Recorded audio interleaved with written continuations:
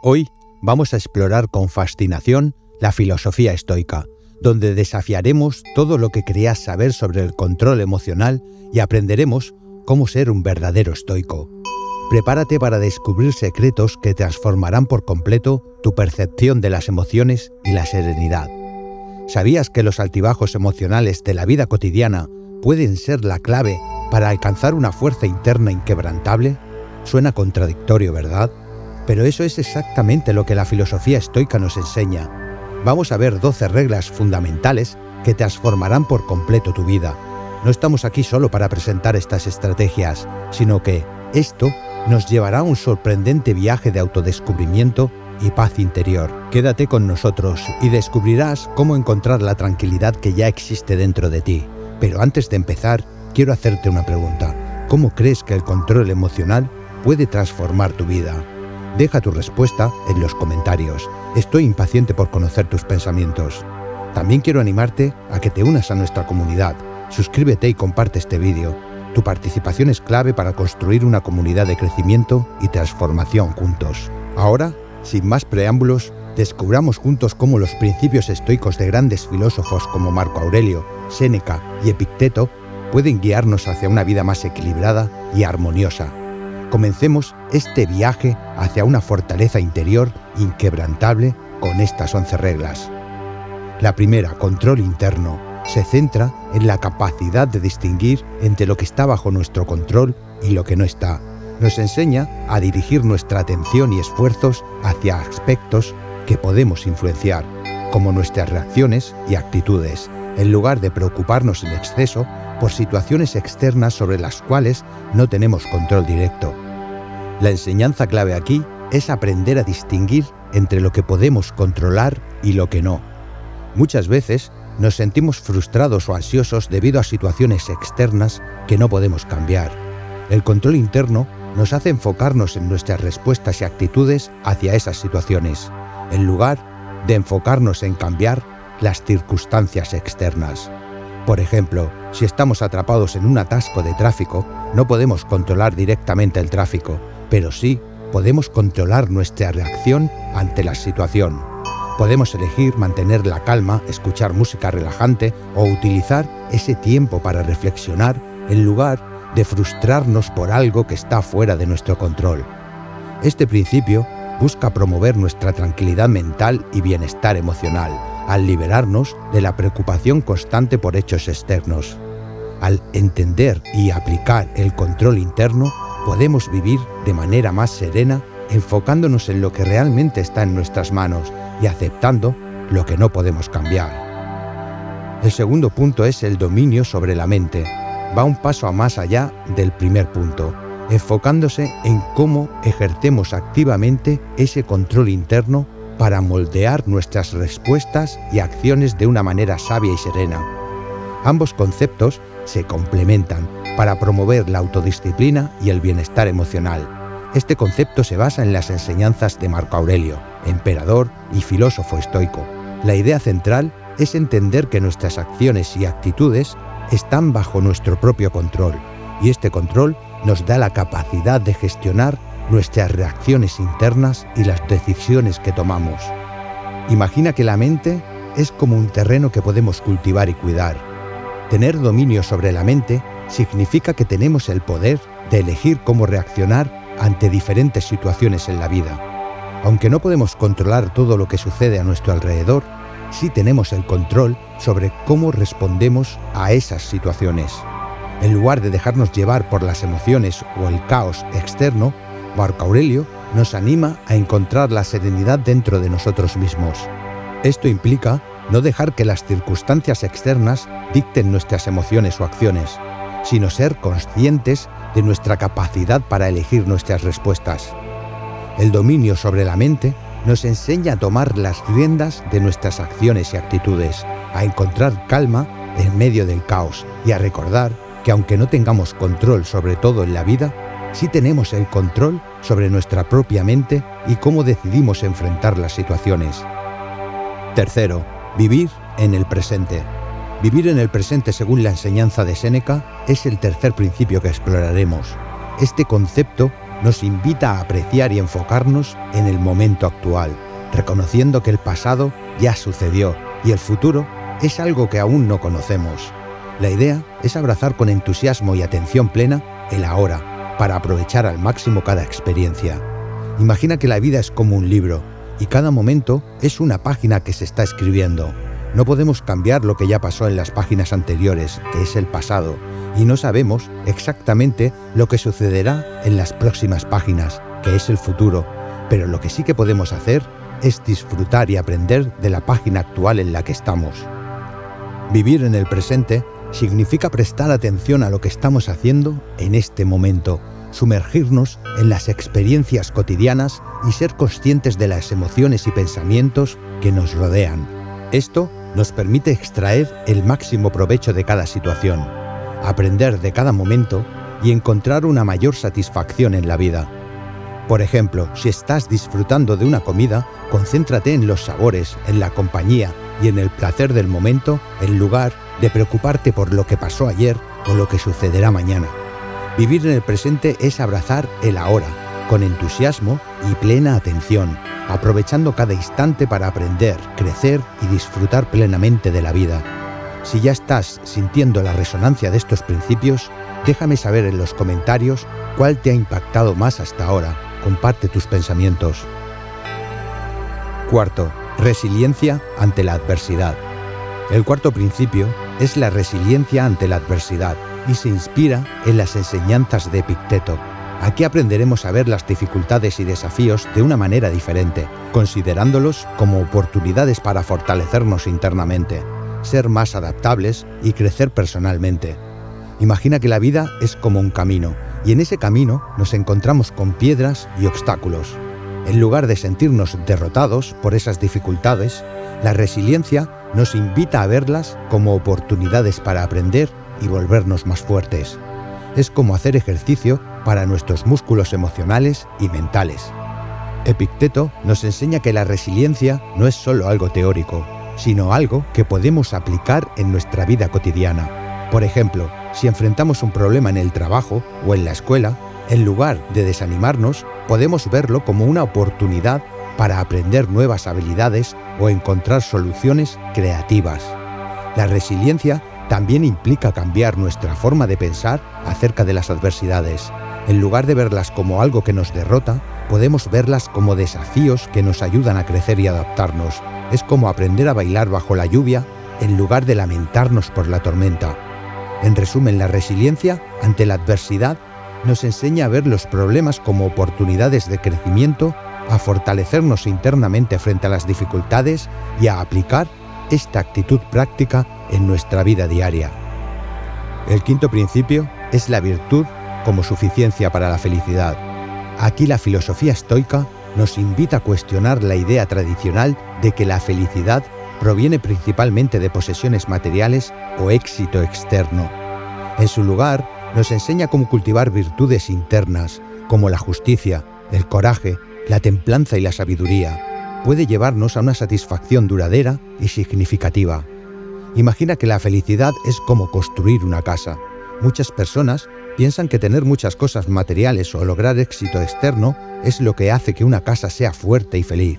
Sin embargo, los estoicos nos dicen que la verdadera fortaleza de nuestra casa de la felicidad proviene de las virtudes internas que cultivamos, como ser justos, valientes, moderados y sabios. Cultivar la virtud significa esforzarnos por ser mejores personas en nuestra vida diaria. Por ejemplo, ser justos implica tratar a los demás con equidad. El coraje implica enfrentar nuestros miedos. La templanza implica moderación en nuestras acciones. Y la sabiduría implica tomar decisiones bien pensadas y reflexivas. Los estoicos nos enseñan que al centrarnos en estas virtudes podemos experimentar una satisfacción más profunda y duradera que no depende de circunstancias externas. En lugar de basar nuestra felicidad en cosas que pueden cambiar o desaparecer, construimos una felicidad sólida en las características personales que podemos controlar y mejorar. En resumen, la virtud como suficiencia para la felicidad nos anima a construir nuestra felicidad en base a virtudes internas duraderas, en lugar de depender únicamente de cosas materiales o éxito externo. Esto nos guía hacia una satisfacción más profunda y significativa en la vida. El sexto principio es la simplicidad como clave. Aquí vamos a entender cómo simplificar nuestras vidas no solo significa tener menos cosas materiales, sino también adoptar una filosofía de vida centrada en lo esencial. Este enfoque nos llevará a una mayor autenticidad, claridad mental y satisfacción interior. Imagina que la vida es como una mochila que llevamos a lo largo de nuestro camino. Muchas veces acumulamos nuestras cosas en esa mochila, más de una te sonarán, como preocupaciones innecesarias, posesiones que no necesitamos realmente y actividades que no nos aportan verdadero valor. La simplicidad nos invita a revisar lo que llevamos en nuestra mochila y liberarnos de lo que no es esencial. Simplificar no significa simplemente deshacernos de cosas, sino también adoptar un enfoque de vida más sencillo y centrado en lo importante. Es como hacer espacio en nuestra mente y corazón para las cosas que realmente importan. Esto nos ayuda a ser más auténticos al vivir de acuerdo con nuestras verdaderas prioridades y valores. Al eliminar lo innecesario, ganamos claridad mental y nos enfocamos en lo esencial, lo que nos proporciona una sensación de satisfacción interior. Por ejemplo, en lugar de buscar constantemente más posesiones materiales o comprometernos con demasiadas actividades, podemos enfocarnos en lo que realmente nos hace felices y con lo que nos sentimos satisfechos. Esto puede incluir relaciones significativas, experiencias enriquecedoras y un sentido claro de propósito en la vida. El séptimo principio es la autosuficiencia emocional. Aquí vamos a explorar cómo desvincular nuestra paz interior de factores externos nos permite enfrentar la vida con serenidad y fortaleza. La filosofía estoica nos guiará hacia la construcción de una fortaleza interna que permanece inquebrantable frente a las fluctuaciones de la vida.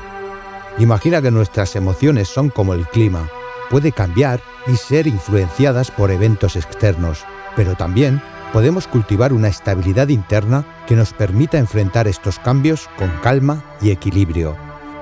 La autosuficiencia emocional implica no depender demasiado de factores externos para nuestra felicidad o bienestar emocional. Los estoicos nos enseñan a encontrar una fuente de paz interior que no está sujeta a las circunstancias externas.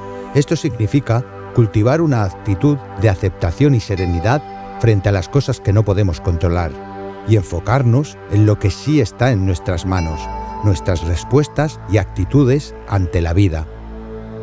Por ejemplo, si recibimos una crítica o enfrentamos un fracaso, en lugar de dejar que eso afecte profundamente nuestra autoestima o estado de ánimo, podemos recordar que nuestra valía no depende de la opinión de los demás o de nuestros logros externos, podemos aprender a aceptar la crítica de manera constructiva y a ver el fracaso como una oportunidad para aprender y crecer. El octavo principio es la responsabilidad personal. Aquí exploraremos cómo reconocer que somos los arquitectos o constructores principales de nuestras vidas nos empodera. Asumir la responsabilidad no solo implica tomar decisiones, sino también enfrentar las consecuencias con valentía y aprender de ellas para un crecimiento personal continuo. Imagina que nuestra vida es como un proyecto de construcción y nosotros somos los encargados de diseñar y construir nuestro propio camino. La responsabilidad personal implica darse cuenta de que nuestras decisiones y acciones son fundamentales para el resultado de ese proyecto. Asumir la responsabilidad implica no culpar a otros por nuestras circunstancias o resultados. En lugar de ver las situaciones difíciles como algo fuera de nuestro control, nos empodera reconocer que siempre podemos elegir cómo respondemos a lo que sucede en nuestras vidas. Por ejemplo, si enfrentamos un desafío en el trabajo, en lugar de culpar a los demás o a las circunstancias, podemos reflexionar sobre nuestras propias acciones y decisiones. ¿Hay algo que podamos hacer de manera diferente la próxima vez? ¿Cómo podemos aprender y crecer a partir de esta experiencia? La responsabilidad personal también implica enfrentar las consecuencias de nuestras decisiones con valentía. Si cometemos errores, en lugar de evadir la responsabilidad, podemos reconocerlos, aprender de ellos y tomar medidas para mejorar en el futuro. El noveno principio es la práctica de la reflexión. vamos a explorar cómo la introspección consciente es esencial para el autoconocimiento y la mejora personal. Al dedicar tiempo a la reflexión diaria, podemos obtener claridad mental, recargar energías y alinearnos con nuestros objetivos y valores. Imagina que la reflexión es como tomarte un momento para mirar adentro de ti mismo, como si te hicieras preguntas importantes sobre quién eres, qué valoras y hacia dónde te diriges en la vida. La práctica de la reflexión implica ser consciente de tus pensamientos, emociones y acciones. Dedicar tiempo a la reflexión diaria te permite desconectar un poco del ajetreo diario y hacer una pausa para entender mejor tus experiencias y decisiones. Puedes preguntarte a ti mismo cómo te sientes acerca de ciertas situaciones, qué has aprendido y cómo puedes mejorar. La reflexión también te ayuda a mantenerte alineado con tus metas y valores. Si te detienes regularmente para evaluar tus acciones y decisiones, puedes asegurarte de que estás avanzando hacia lo que realmente es importante para ti, en lugar de simplemente reaccionar a las circunstancias. Por ejemplo, al reflexionar sobre el día, podrías notar patrones en tus emociones o identificar áreas de mejora. Preguntarte a ti mismo qué has logrado y qué podrías hacer diferente te permite aprender y crecer continuamente. El décimo principio es empatía y comunidad. A pesar de centrarnos en el control interno, la filosofía estoica nos recuerda la importancia de la empatía y la conexión con los demás.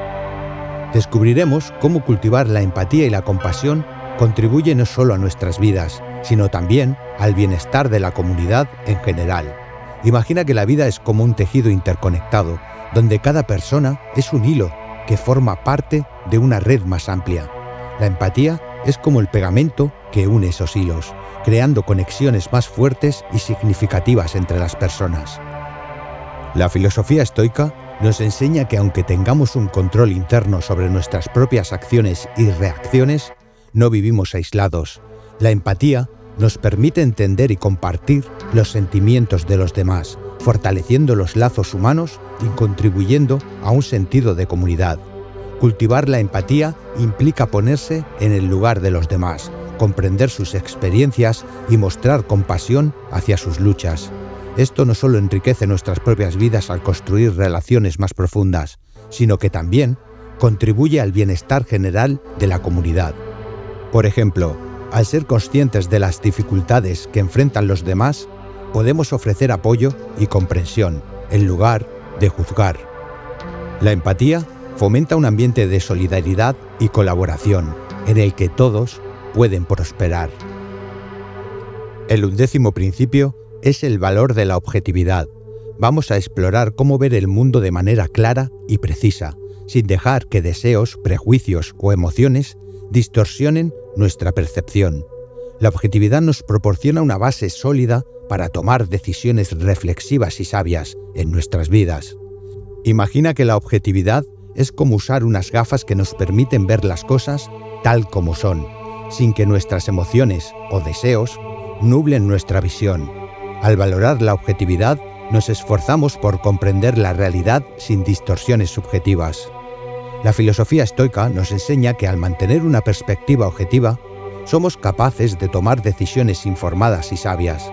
Evitar dejarnos llevar por nuestras emociones o prejuicios nos permite ver las situaciones con mayor claridad y actuar de manera más acertada. Por ejemplo, si enfrentamos un desafío, la objetividad nos insta a evaluar la situación de manera imparcial, considerando los hechos y evitando ser influenciados demasiado por nuestras emociones. Esto nos ayuda a tomar decisiones basadas en la realidad, en lugar de reaccionar impulsivamente. La objetividad también nos permite aprender de nuestras experiencias de manera más efectiva.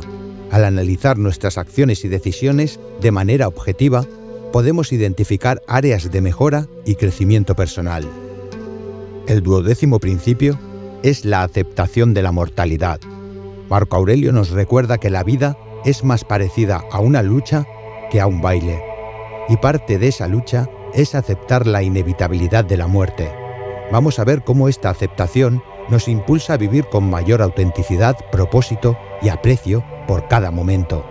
Imagina que la aceptación de la mortalidad es como recordar que todos tenemos un tiempo limitado en este mundo, como si tuviéramos un reloj que avanza constantemente. Aceptar la mortalidad nos invita a ser conscientes de la fragilidad de la vida y a apreciar cada momento como algo valioso. La filosofía estoica nos enseña que enfrentar la realidad de la muerte nos permite vivir de manera más auténtica y significativa. En lugar de temer la muerte, podemos usar esa conciencia para enfocarnos en lo que realmente importa en nuestras vidas, aprovechando al máximo cada día. Esta aceptación también nos impulsa a vivir con propósito. Saber que nuestro tiempo es limitado nos motiva a buscar significado y contribuir positivamente al mundo, en lugar de posponer nuestras metas y deseos. Nos insta a actuar de manera decidida y valiente. Por ejemplo, si somos conscientes de que la muerte es inevitable, podemos dejar de lado preocupaciones insignificantes y concentrarnos en construir relaciones significativas, perseguir nuestros sueños y hacer una diferencia positiva en la vida de los demás. En resumen, estas lecciones estoicas no son simplemente teorías, sino herramientas prácticas para transformar nuestras vidas. Si resonaron contigo, no olvides dejar tus comentarios, suscribirte y activar las notificaciones. Juntos, continuaremos explorando las maravillas de la mente y el corazón humano. Nos vemos pronto. Hasta luego.